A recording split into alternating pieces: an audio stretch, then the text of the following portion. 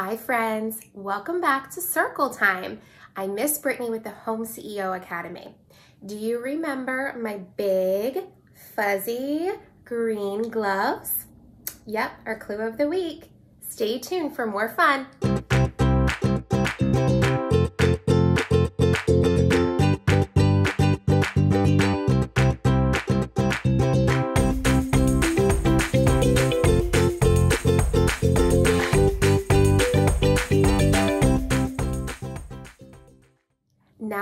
Over to Lexi for our welcome song. Take it away, Lexi. Hello. Welcome. This is the hello song. This is the hello song. I'm sitting on her hat. This is the hello song. It's a new day. And it's a surprise in every new corner. So I hope you have a great day. Goodbye. All right, friends, I have a really fun song for you today. It is called Where is Thumbkin? And I brought a few friends along with me. Here we go. Where is Thumbkin? Where is Thumbkin? Here I am. Here I am. How are you today, sir? Very well, I thank you. Run away, run away. Where is Pointer? Where is Pointer? Here I am, here I am. How are you today, ma'am? Very well, I thank you. Run away, run away. Where is tall man? Where is tall man? Here I am, here I am. How are you today, sir? Very well, I thank you. Run away, run away. Where is ring man? Where is ring man? Here I am, here I am. How are you today, sir? Very well, I thank you. Run away, run away. Where is Pinky? Where is Pinky? Here I am, here I am. How are you today, ma'am? Very well, I thank you. Run away, run away. Great job! Welcome back to our theme board. Let's learn a few more things about what our hands and fingers do for us every day. First, we use our fingers and hands to help us eat. In some countries, they actually use their fingers and hands instead of the utensils that we use every day. In India, they actually can even scoop up the rice and put it into their mouth and then that's how they eat right out of the bowl. But here in America, our parents teach us that we use our utensils to eat. And next, we use our fingers and hands to exercise and play sports. Do you know what the first sport in America was?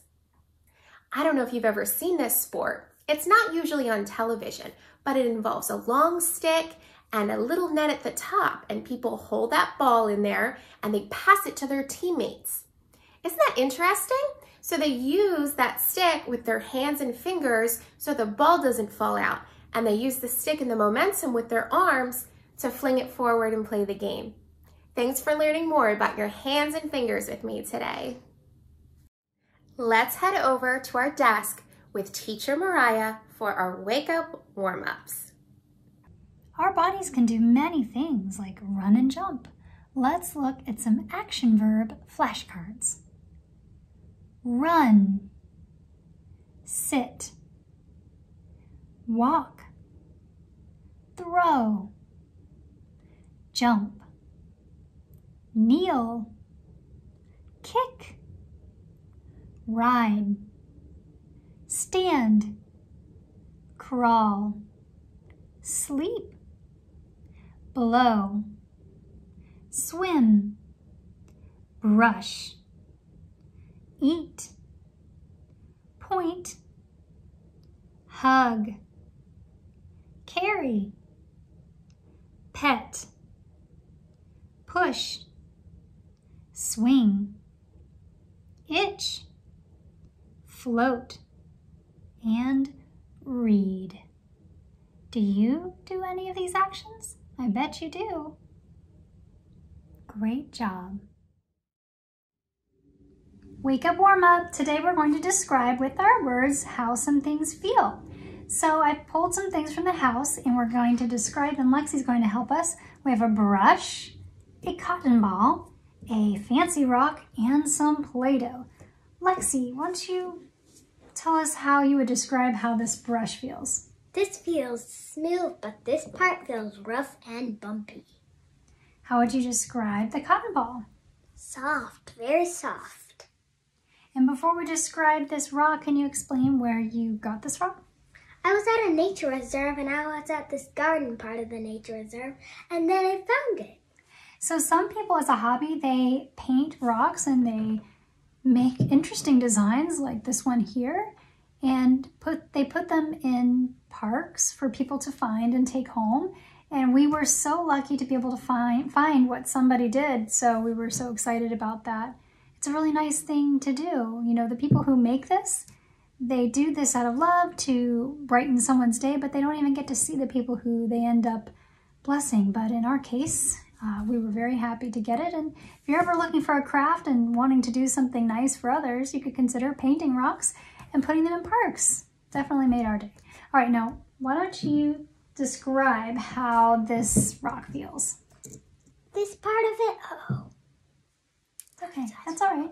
When this part is sort of bumpy, this part, but this part is more rough.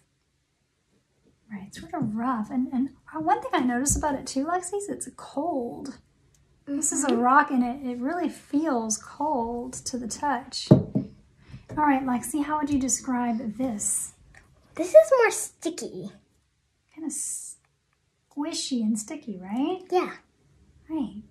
So at home, you can find different things and use words to describe how they feel. Wow, friends, excellent job on your wake up warm ups today.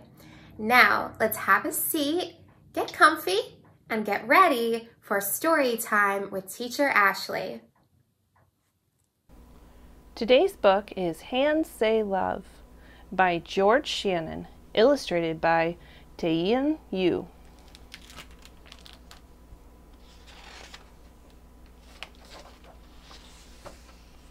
Hands that do all they can do are also saying, I love you. Hands that gently wake you up. Hands that fill that special cup. Hands that help the baby walk. Hands that make a puppet talk.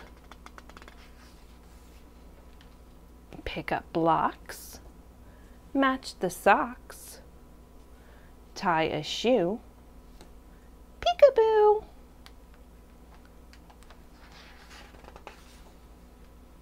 Hands that dig the garden weeds, hands that help to plant the seeds, hands that pull a splinter out, hands that hold when you're in doubt. Wipe a tear, hold you near. Toss a ball, stop your fall.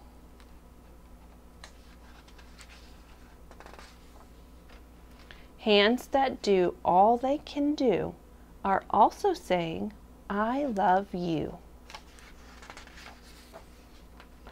Hands that help to stir and bake, hands that decorate the cake hands that hold a bite to share, hands that bring the silverware.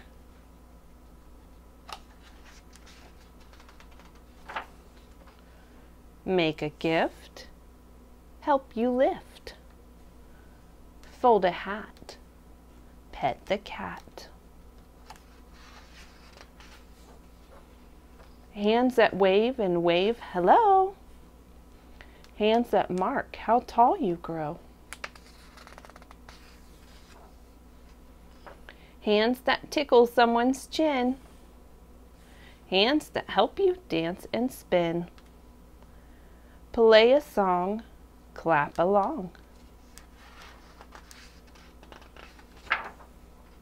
Sweep the broom, clean the room. Hands that hold a book to share, hands that brush and braid your hair. Hands that pull the covers tight, hands that send a kiss good night. Hands that do all they can do are also saying, I love you.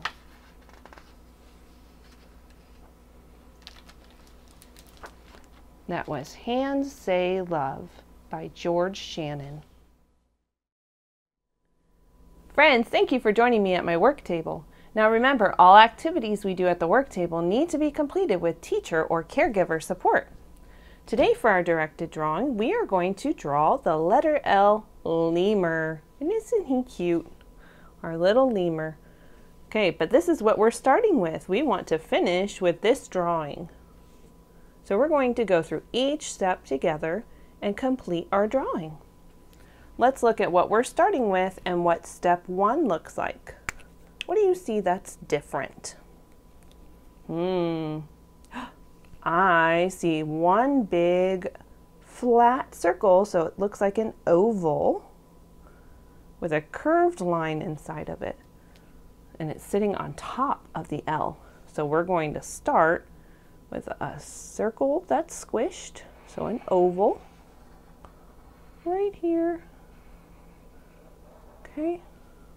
And then we're going to draw this curved line. It kind of comes up a little bit, down a little bit, back up and curves down again.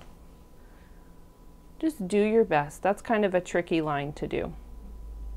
Let's look at step two. What's different? Hmm.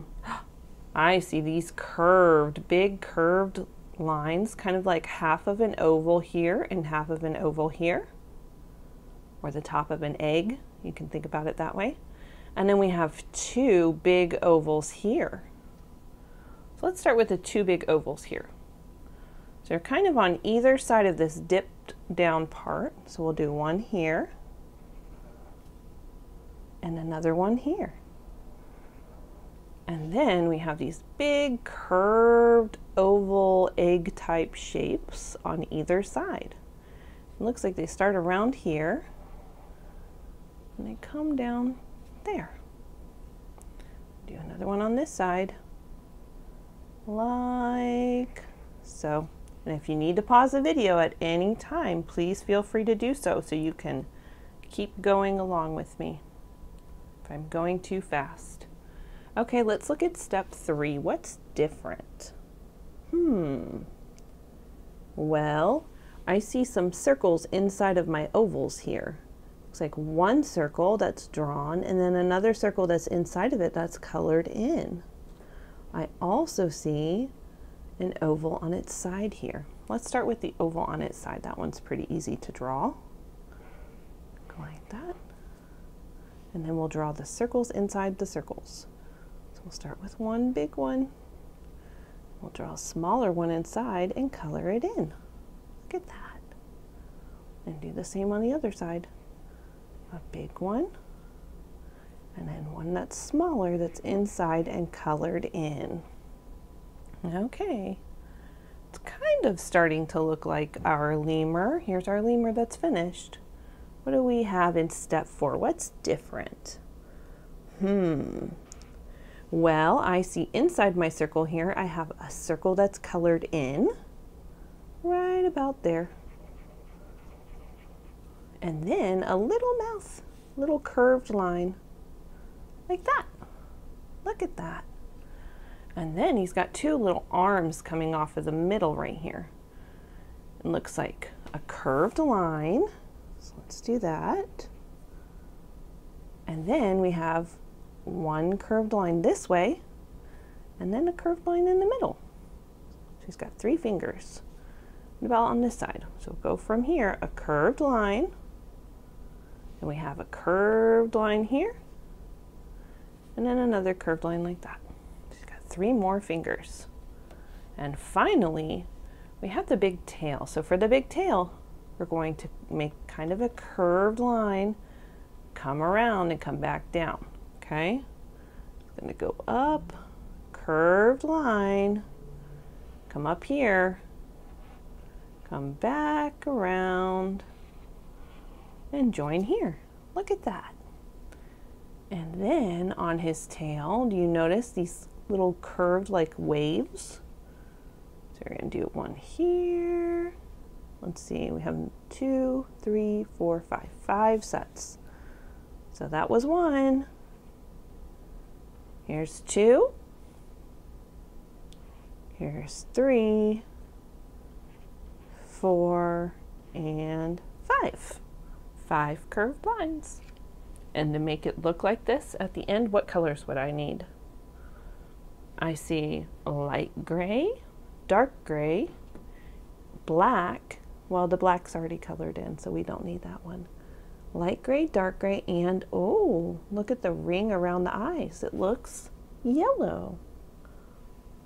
Okay, so that's how you would complete your letter L lemur activity. And then we have two more activities. Let me grab these. Our first one is called H is for hand. It says find all the letter H's you can see and color them in. So here we have a letter H and then we need to find all the ones we can in here. You might have a dauber marker that you can take and kind of dab at them like that. Any H's you find.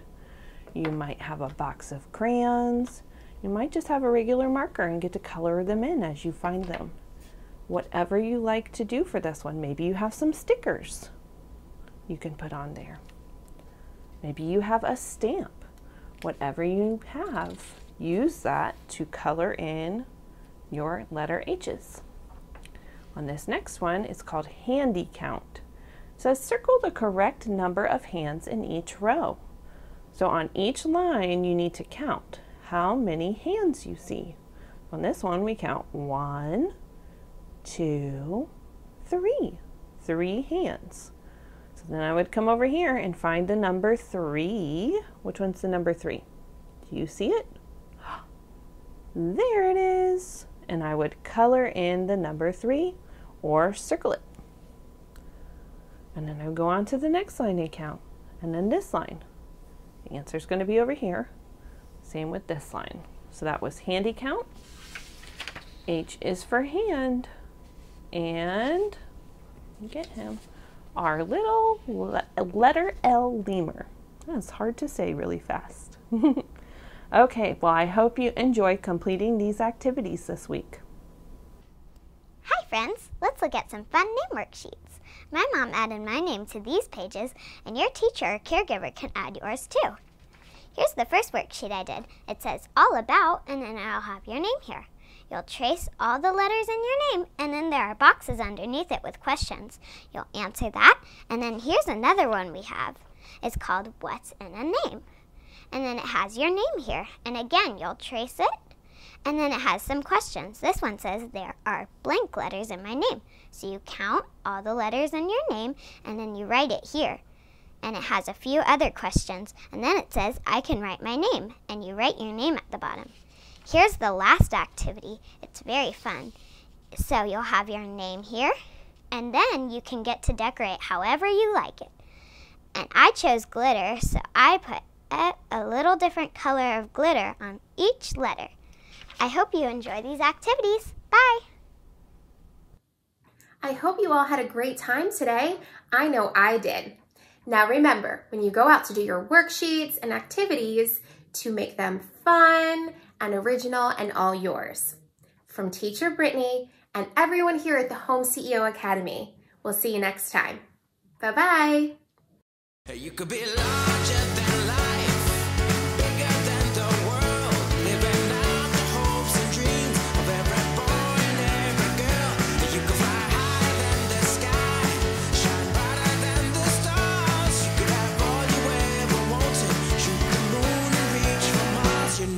could.